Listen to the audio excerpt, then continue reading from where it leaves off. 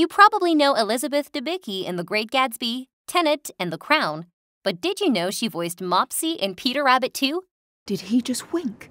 I didn't even know we could do that. Ah. I just looked for the buttons, but then one time, it was your nipple. Oh, good! Okay! I've got 11 more ribs! Should we break both ankles or just one? I'm sorry. That was weird. Visit the channel for more exciting videos.